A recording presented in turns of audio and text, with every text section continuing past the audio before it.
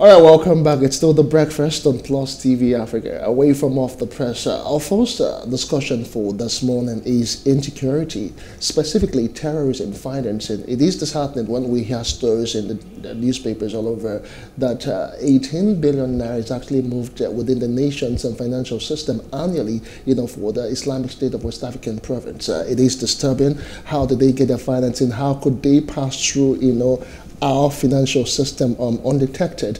Uh, so basically, that's what we'll be talking about at this particular segment. And we have a you know former assistant director of the, the Department for State Services, uh, Dennis Amachree, joining us on this this course. Uh, good morning to you, Dennis Amachree. Good morning. All right, many thanks for joining us on uh, this particular discourse. You know, sometimes uh, it is really disheartening when you think that uh, we have a financial system and uh, that's supposed to be, you know, a very formal system. How is it possible that uh, terrorism could actually be financed, you know, when Nigeria is actually at its peak of, uh, you know, the war uh, against insurgency and 18 billion naira is actually moved within the nation's um, system annually undetected? well, um, yes, you have a Good, good morning, and thanks for having me here. Um, the the system is formal, but this particular set of monies are being moved in the informal sector because we have an illicit criminal economy that exists, you know, and it is very, very vibrant, whereby you know, a lot of uh, different kinds of monies are moved in and out, either for terrorism, financing, or for buying of arms, all part of the same uh, violent uh, criminal economy. Okay, so um, I remember vividly that the Attorney General of the Federation sometime in May had announced that the Nigerian government uh, was very, I mean, was had started the prosecution of 400 suspected Boko Haram financiers and was profiling, you know, some persons. So the question now for me is, do you think that we're winning the, the fight against insurgency? I mean, looking at the fact that, you know, the, uh, the president came through and he said security is a major concern for him and uh, how many more years to go? What are your thoughts? Juxtaposing that with the fact that uh, these funds, we know how vital and important, uh, you know, funds are for every institution. Yeah, now uh, let's go back a little bit in history or in the recent past. Then we'll find out that um, actually um, all these monies, when Boko Haram started, they don't have any money. They don't even have guns. But um, in 2002, it was very significant that Osama bin Laden, you know, heard about Boko Haram and actually came around and gave about $3 billion, you know, where they started buying guns. And then as they started buying guns, they had this affiliation and they were being taught on how to raise money because there is no way you can continue um, uh, running a terrorist organization without raising money. And then they now ended up, that's when we started hearing about kidnapping, um, all kinds of uh, bank robbery, uh, drug drug smuggling, you know, even protection money. Some governors in the north were paying protection money to these guys so that they will not be attacked. And they were paying in the millions. You know, so I am not surprised right now that it has risen up to 18 billion because that economy is actually booming. And then, of course, with all the things that are going on, even in Lake Chad area, the Boko Haram people control the fish market, the fish market from Lake Chad, you know. So these are all different forms of how they raise their money. And then, of course, we were not very serious about uh, prosecuting them. How many have they prosecuted? So that if you read the newspapers, you don't even see you know, where people are prosecuted, um, how they have gone to jail. Um, the ones that they caught in Dubai, we are still talking about it. Least we need to get those people in jail so that others will learn lessons. But um, uh, we are so slow about it that uh, it encourages them to continue. Kidnapping is a big business in Nigeria right now. And this is what is going on. We have to start looking at these things very, very critically because uh, Nigeria is a member uh, of all those uh, international uh, anti-money laundering or, you know, groups. And then we should, of course, make our membership very effective. All right, uh, Dennis, uh, the ECOWAS body that came out uh, with this particular report uh, said, let me just quote them, that the, uh, the government lacked adequate insight into Boko Haram and ISWAP international linkages and abuse of the formal financial and commercial sectors. Do you agree with that postulation? Yes, I think uh, we are not looking at it, and there is no way we are busy trying to either, you know, uh, get it right with the informal sector. Forget about terrorism. Let's think about ourselves right now. You know, when you look at the banking sector, it is all those big companies and uh, big people or salaried people that are working and getting loans and you know in fact you know you know remember what they said uh, we are going cashless society cashless society now the cashless society they try to put things in place whereby you use card you don't change cash and all the rest but we are still using cash nigeria is largely a cash society the market woman selling tomato and all those kind of those people don't use ATMs. They don't use POS. You know, so it's cash based. And most of these things, uh, ransom payment for kidnapping, is cash. You know, it doesn't go through the formal system. So the, the, the government does not have a very good idea about how much money is being moved around in that particular platform. Okay, putting, putting it differently right now, um, Dennis, uh, 18 billion naira is actually a whopping sum. And you heard um, uh, historically talked about um, how um, you know uh, Boko Haram got the attention of um, Osama bin Laden. But if they are transacting or maybe doing um, some sort of financial uh, transactions uh, in the country. Is it like uh, they have businesses here that uh, fund the operations, or just how exactly do they get to move 18 billion naira across Nigeria annually? Okay, um, you know, it is not a situation where you collect the money up to when it is 18 million, you move it around, okay? Uh-huh. This is the total sum of what is available in that economy that criminal economy, you know, the volume of business going on is 18 billion. That's what the report is saying. And then when you look at it, it's bigger than the annual uh, listing of many countries, you know. So um, it's a very large sum of money. What happens is that people are using it. What, like I said, in that informal business, informal platform, this is the volume that is moving around. All right, understood. Uh, Dennis. Okay, um, Dennis Amachree, let's also talk about the fact that, you know, the government as a way of fighting, because, I mean, we're still very big on the BVN and the NIN, uh, you know, SIM linkage. Do you think that that's, uh, that's been very effective with the fight against uh, insurgency? Um, well, the BVN is still tied to the formal sector. You know, the NIM and the BVS are all tied to the formal sector. And they have not been very effective in the sense that, you know, um, I know if you drop a, a lump sum into the any bank, it will be reported to central bank and central bank is supposed to investigate to find out where this money is coming from uh, but I don't know how good they do that. I cannot really tell because I don't know. I've not heard of anybody that has been confronted uh, with the sum of money.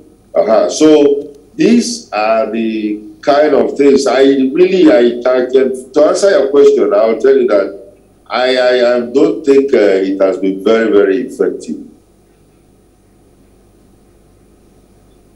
Okay, but we also had a case where uh, Kuda Bank uh, reported, you know, a person who actually dropped uh, 800,000 naira or thereabout. Now, you, you've also mentioned uh, the case of that the government have not been able to prosecute, they're slow to action.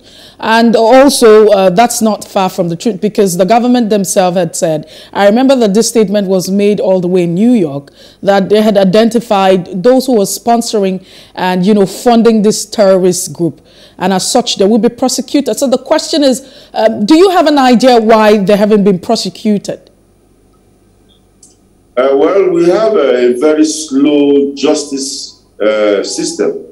The criminal justice system is uh, very, very slow in Nigeria because we don't give priority to some cases, even when they are high profile cases. Uh, you remember Evans, the kidnapper. Mm. His case, it was just last week when he was uh, sentenced to death. And uh, after how many years, you know, so uh, we are not very, very fast when it comes to dealing with this. Because when you don't uh, do justice and let it be seen to be done, you know, then people will take it for granted. Uh, many states have uh, even declared kidnapping as uh, they've uh, said uh, they've passed a law saying it's death sentence if you are caught kidnapping. But how many people have been caught and how many people have been sentenced to death? We are not yet uh, we've not heard anything about that. So I think that's where we are. So the case that we, we have right now, would you say that is the fact that, you know, the financial institution in Nigeria is not, uh, there are loopholes. I mean, there's a lacuna or they're not properly structured. Or it could be that the federal government in itself uh, is not willing, you know, to prosecute, arrest and uh, deal with these persons who are sponsoring and funding this uh, group of persons. Well, uh, when you talk about the financial system, whether it has loopholes, I think it does. It does. Uh, it is something that uh, could be overcome, but uh, I don't think that we are actually serious in pursuing it. We are not very serious in pursuing it because um, there are loopholes. The informal sector, especially, is, is there. A lot of money moves around, and um, we are not being able to gather it into a system where it can be monitored. And I think that is the biggest problem we're having. So all these terrorists can, you know, use their account and move them around. In fact, uh, change it into dollars and then, of course, move it around. So these are the things that uh, are happening. Uh, we should be able to diligently, diligently make sure that we spread the net in such a way that most of the monies that are moving in the informal sector come back into the system whereby central bank or even the EFCC can be monitoring and then knowing that this is what is going on. All right, um, Dennis, uh, you know, the um, Global Anti-Money Laundering and Counter-Terrorist Financing Standard stipulates that uh, you know this assets of uh, you know terrorists should be confiscated. But this report that came out uh, just uh, barely 24 hours ago is actually indicting the federal government of not confiscating the assets of these terrorists. Yes, there is also some problems we have. You know, Nigeria is a member of the Financial Action uh, uh, Task Force uh, international body under the United Nations, I think, and uh, we've not been able to ratify ourselves very well. We've been on that list of countries that are not compliant, you know, countries that are not compliant. Now, um, why do we keep on um, not meeting up to this? And I don't want to call it a Nigerian factor because normally I know whenever anything happens in Nigeria, there is this factor of man no man or long leg or whatever, you know, and even the terrorists, some of them that have been arrested, some cannot even be prosecuted because you find out people begging for them or some other people making political statements about them and stuff like that. So those those situations where we are not, you know, following up on certain things, I think is the factor that is pulling us back, where there is a lukewarm attitude or lackadaisical attitude in certain things that we are not following up according to global standards. All right, can, can you take us through, because uh, in the course of our conversation, you have constantly mentioned the informal sector where you think that these elements are actually, uh, you know, pushing this fund through. What could, which, uh, what informal sector are we talking about now? Uh, the informal sector of uh, cash-based transactions. Cash-based transactions. I'll give you an example. Now, right now, uh, Boko Haram controls, or ISWAP controls the fish market, the smoked fish market in Lake Chad, you know, and the red pepper market. Now, they don't send their money to the bank. They sell and they give them cash. There are people um, that are actually buying and selling, and of course, the taxes. That's another way of uh, financing their, their, their activities. They tax people. And these taxes are being paid to them. And this is not paid through the banks. These are paid cash. And as they collect the money physically, they gather it up together, either change it into dollars or use it to buy, uh, they will go around and maybe buy food, buy food, and there are people who sell them food. You know, and these people will collect the money in cash and give them food, which they use in going to uh, do their own thing. But what I am really worried about is those areas where they go out and buy uh, tankers, uh, uh, guns. When you look at uh, AK-47, one single AK-47 is about 400,000 naira. One, one. So when they are buying it internationally from manufacturers and stuff like that, yes, there is uh, the uh, the dark market where people on the ground they can go and buy whatever they want to buy, you know, uh, and then of course business is done in hush hush. But security agencies have also come to monitor that very particular uh, environment where they know, you know, even with drugs, where certain movements are being made. And uh, of course, if we use technology very well, uh, all these movements can be monitored. It can be monitored, either the movement of arms and ammunition or drugs or illegal money. All that can be monitored. But you have to go down to the dark, to the dark cloud to do that. All right, uh, uh, Dennis, I still think uh, we should talk about um, the role of the DSS in all of this. I don't know how effective they have been with their intelligence when it comes to terrorism financing. Uh, critically, you know, there's, there's, so much movement when it comes to uh, small arms and um, weapons in Nigeria. How do we begin to monitor this, ensure a bit of control and sanity so that, uh, you know, when these arms are bought or if they should even be bought, you know, would know what channel, where they're coming from, and who can be nabbed and all of that. Uh, yes, um, the DSS itself, you know, I think uh, are doing very well because uh, most of these things that are becoming uh, coming to light now, you know, are intelligence that have been gathered so far, you know. So uh, they are doing their own, but I I think that they could do more. They could do more and if they could do more, it is the government that will sponsor them. I don't want to a situation where we, you know, like Kaduna State was doing when they were paying ransom instead of giving it to the security people. And now they've decided not to pay the ransom, but the money, are you giving it to the security people to use? Because they can use that to increase their capacity. Mm.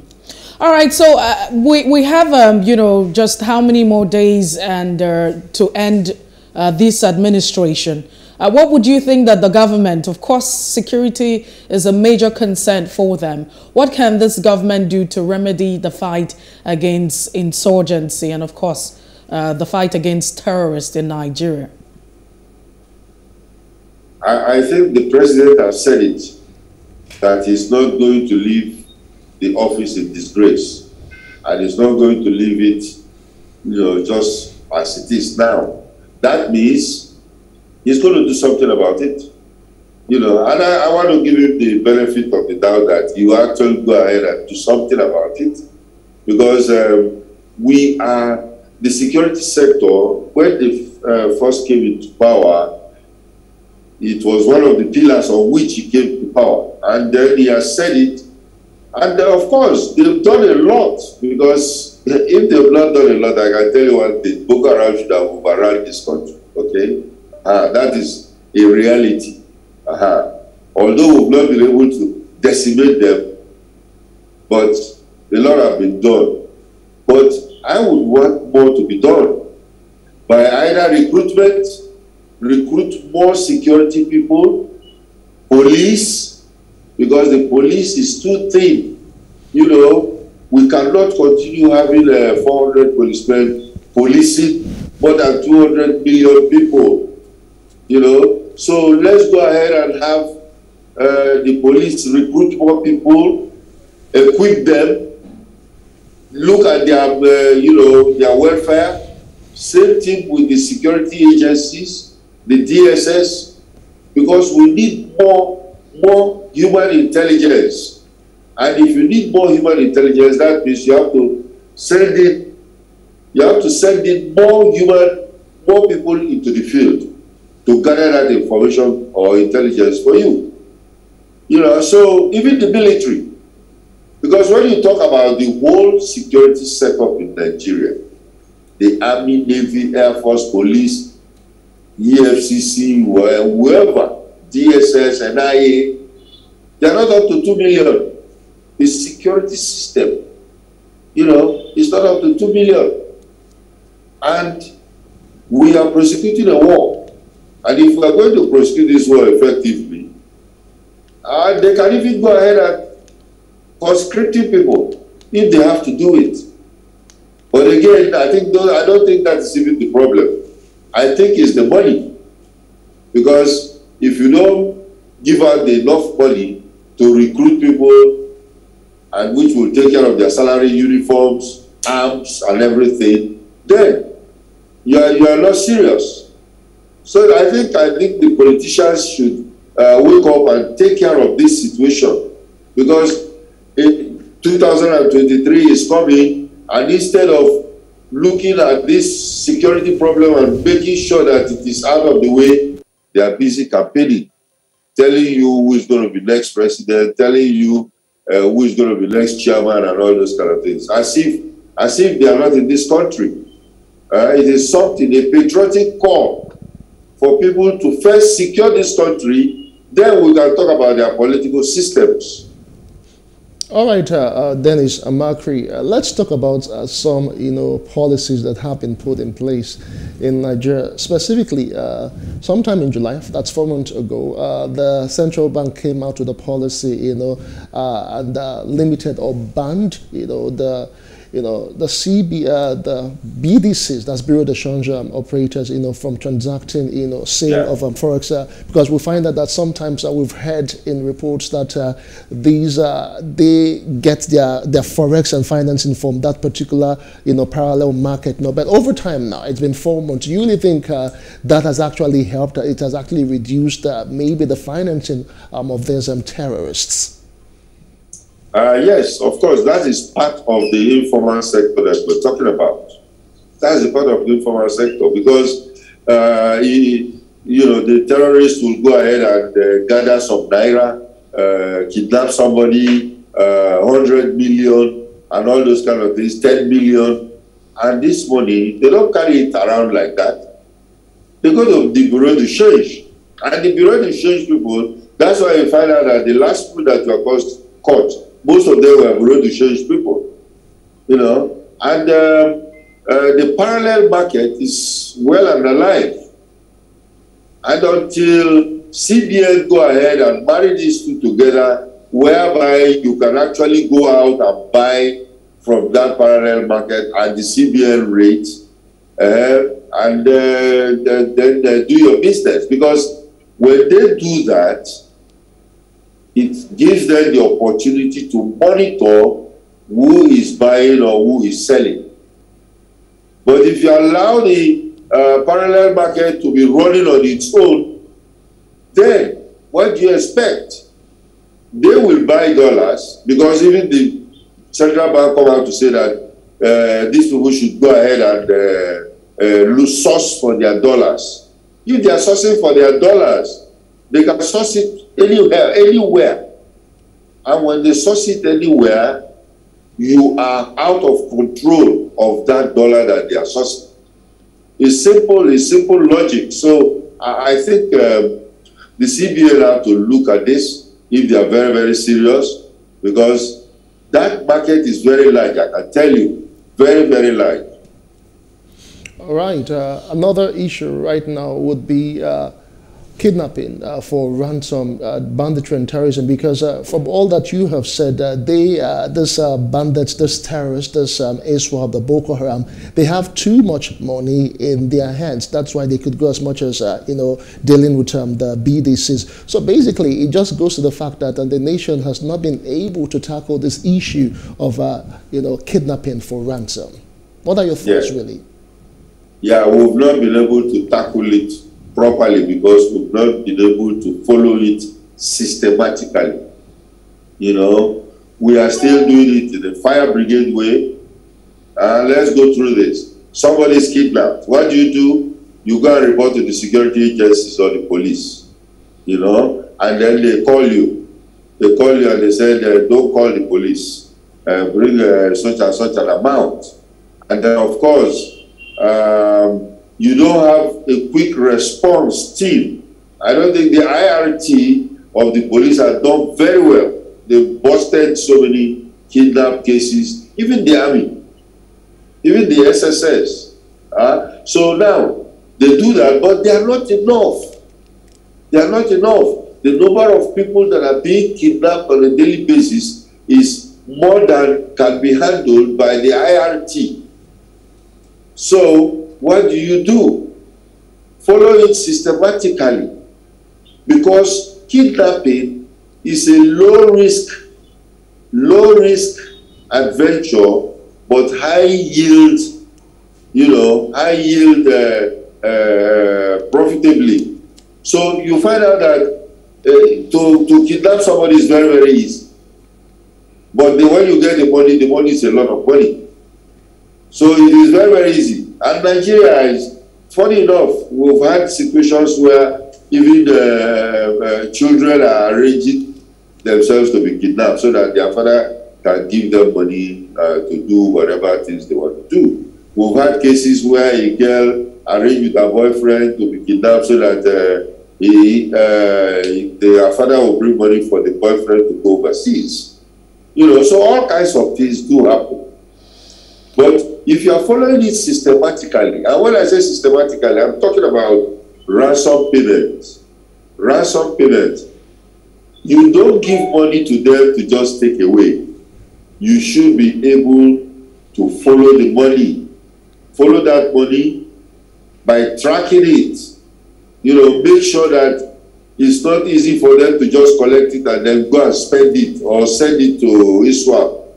You know, because that money, because look at it, when they kidnap people and sometimes when the military go and bust their camps, they just collected about 50 million. But you don't see a kobo in that camp. What does that tell you? It tells you that that money has been transmitted to somewhere else. You know, and it is moving around in this country.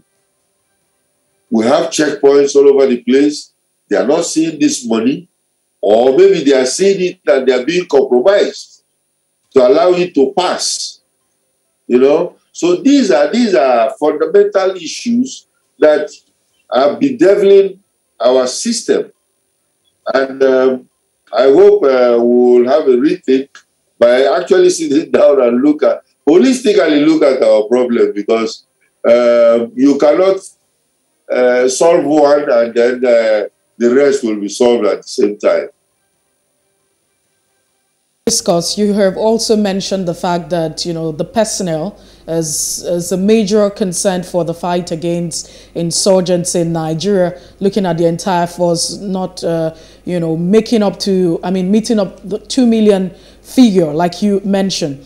But some other, um, you know, persons would say that religion is a major, you know, concern against the fight against insurgency. Uh, because of some religious affiliation and what have you, uh, that's also uh, a big problem. And others are also saying that the issue of corruption, because um, whether or not we want to agree, um, you also look at the budget year in, year out. You find out that uh, the military and defense would always take a huge chunk of the budget. And some people say the corruption that is going on in the military is also affecting the fight against uh, insurgency. I, would like to share your thoughts on it. Do you agree with these persons who are putting out this uh, opinion? Yeah, yes. Um, the thing is that uh, it's not actually even religion anymore in the beginning of Boko Haram, when Boko Haram started, it was religion. But right now, it's no more religion because Boko Haram kills Christians, they kill Muslims, you know, they raid mosques, they raid churches. So it is no more religion. But corruption, yes. You know, we have a very corrupt system and uh, we know it. And that's why, you know, when you really bring it down to the street level whereby uh, people don't want to obey street lights, you know, and you do certain things and they say, oh no, it is Nigerian style. Oh, this is Nigeria. Somebody said that to me about two days ago and I was really, really angry with the person. You know, this is Nigeria. I said, what do you mean by this is Nigeria? You know, so you can't do the right thing because you feel that this is Nigeria. So this is the problem we are having. Corruption, yes, it has eaten deep into our system and it lives with us right now because it has permeated everywhere where people feel that you cannot even get anything done properly if you don't tip somebody or something like that you know or you can commit a crime and then a policeman arrests you and then of course you you you you give him some money and they let you go. You can't do those kind of things in some countries you try and bribe a policeman in the United States, you are in for it. You know, so these are the problems we have, and they are fundamental. All right. All right, we must say a very big um, thank you to you, uh, Dennis Amachree, former Assistant Director of the DSS. Thanks for sharing your thought on this particular discourse. We do appreciate your time. Thank you very much for having me. Thank you. All right, it is still with the breakfast and Plus TV Africa. We'll take a quick break and when we return, we'll have guests join us to tackle uh, the issue of bullying in our schools in a moment. Uh, do join us again.